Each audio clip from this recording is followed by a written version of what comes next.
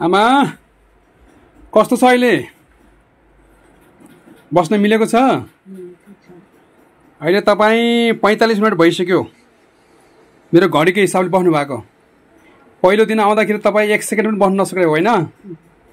एक सेकेन्ड बस्दाखेरि यहाँनिर हलचल भएको हो कि होइन? के नाम हो हजुरको? मेरो? नाम बताइदिनु पर्यो। रुद्र माया। रुद्रमाया कहाँबाट आउनुभएको? खलुङ्गाबाट ओखलडुङ्गाबाट अहिले यसरी बस्न मिलेको छ?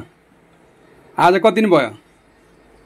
तिन दिन आज लगाएर तिन दिन भयो। हजुरलाई याद छ नि होइन? आमा होइन हजुरको? पैँतालिस मिनट भयो।